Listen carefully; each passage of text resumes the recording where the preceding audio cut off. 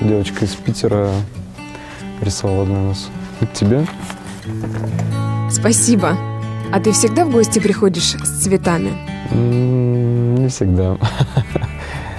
Но стараюсь чаще. Ты автор некоммерческого стартапа «Стихи цветы». И у такого социального проекта, как оказалось, большое будущее. Простая идея букетов со стихами известных классиков переросла в бизнес. Ну так ты стал, наверное, самым романтичным предпринимателем Ростова. В чем особенность твоего проекта? Мы такие духовные просветители вот, молодежи. Мы воспитываем культуру выражения чувств. Тенденция такова, что мы забываем о чувствах, мы забываем о речи, мы забываем о выражении чувств. Мы это делаем в сети э, какими-то знаками, символами, э, но нереальными, да. Как я говорил, это вот такой концентрат чувств, э, сформулированный в строке которые просто достаточно прочесть, как какое-то заклинание, и все сразу наладится. А, У нас есть такая полочка со стихами, а, где стихи на каждый случай. К нам часто приходят, говорят, у меня первое свидание, пропишите мне что-нибудь, какой-нибудь стих. Знаете, у Асадова а, есть стихотворение, называется «Аптека счастья». А, В этом сказочном стихотворении все приходят а, со своими душевными проблемами, говорят, мне пилюли для любви, а, мне а, уколы для замужества. Вот у нас похожая ситуация, к нам приходят и говорят, тут день рождения, значит, тут подруги, а тут мы давно не виделись. Здесь вот так вот. Ну и мы стараемся подобрать а, вот стихотворение, которое попадет прямо в сердце. Знаешь, э, мне кажется, мы выполняем ту самую функцию, когда все-таки мы больше затрагиваем молодых, и мы вот такую пропаганду да, совершаем. И у нас больше молодых ребят э, и девчат, в принципе, которые покупают эти цветы. Их большинство. До семейных иногда сложно достучаться. Они все-таки уже в таком немножко закостенелом состоянии. Их трудно расшатывать. А, Мы это делали на улицах Ростова а, и делаем по сей день. Девушки с палетами, наши цветочницы, они идут и прямо в лицо, прямо вот так вот ни с того ни с сего задают простой вопрос. А когда вы, как давно вы дарили цветы? А когда ты последний раз дарил цветы? Чаще всего именно к семейным парам мы подходим, потому что чаще всего семейные пары обходят стороной цветочницы. А, Вот почему-то так складывается, что ну вот семья и, и все. На 8 марта подарил и достаточно. До праздника еще далеко, цветы можно не дарить. Ты говоришь, что ваш букет – это особенный подарок. Почему?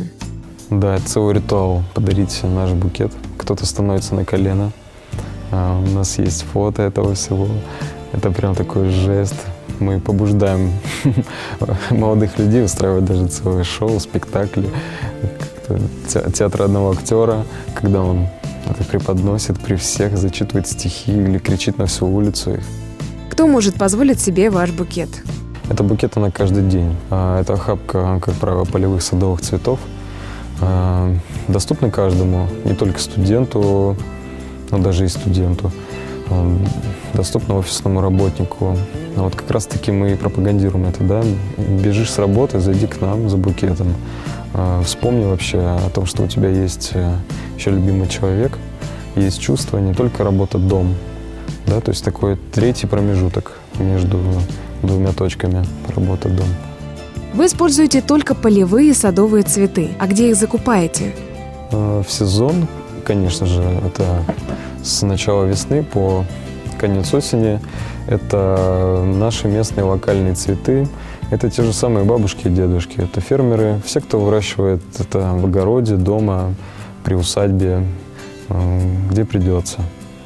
Вот, это наши основные поставщики. Они весь излишек, излишек везут к нам. Вот. А Мы это все заворачиваем в крафт, вкладываем стихи и выносим на улицы. Вне сезона это, конечно же, агрокомплексы, это тепличные хозяйства, опять же, локальные. Как родилась идея создания проекта «Стихи цветы»? Я был студентом, и, конечно же, я не мог себе позволить каждый раз а, дарить одну розу в целлофане за кучу денег. А, Я учился в ДГТУ, а, и вот на Варфоломеева часто приезжали бабушки, дедушки с дачи прям. Такие выходили из автобуса, ставили пакеты с цветами и продавали. Это были большие охапки, ведра, полевых цветов. Полевых, садовых, все, что было в сезон. Вот. И тюльпаны были, и все-все-все, анимоны, сентябринки. Я проходил там все время, да, и как-то так родилось, что вот мне, мне понравились очень эти цветы. В них что-то такое душевное, что-то необычное. Это выращенное своими руками. Это с особой заботой тебе отдается в руки большой охапкой, завернутой в газету. Это такая простота. Дарил коллегам, подругам, девушке на всевозможные события. Вот с этого все началось. И я все больше видел друзей, которые дарили простые ромашки, сентябринки. Вот. И как-то меня просили даже купить э, для них, оставить для них цветы. Я подумал, почему я не могу это делать для всех. А стихи уже родились после. Вот. И пришла такая мысль класть в букет свои любимые стихи. Вот так. Кто ваши главные источники вдохновения? Э, рождественские – это достаточно такая будняя нота. А, он как бы говорит о любви на каждый день, о любви ежедневной. А, у него стих называется «Ежедневное чудо не чудо, ежедневное горе не горе, настоящее горе другое, о нем говорить не хочу я». Я не хочу об этом говорить, о горе, я скажу о любви. А, вот рождественский он на советских, а о буднях прошлого века, о, о повседневности и о том, как сохранить эти чувства в повседневности. Он такой глоток свежего воздуха в каждом дне. Он реалист, и он приближен э, к обычному дню. Вот поэтому он, наверное, ближе к нам подходит. Э, Асадов, э, он волшебник. Он вселяет надежду, такой лучик э, в конце туннеля – а, это всегда романтик. А, конечно же, это добрые стихи всегда. Третий, основной наш поэт, конечно же, куда без Есенина. Вот. А, это категория, которая подходит для первых свиданий, чего-то трепетного, всегда неожиданного. Такой хулиган, романтик. Кто-нибудь в Ростове составляет конкуренцию вашей романтичной флористике? А, я знаю, что есть букеты с вложениями, какие-то строчки об этом, да, но вот а, стихов нет. Букет со стихами – это только в Ростове и только у нас. А есть параллельные проекты, которыми ты еще занимаешься?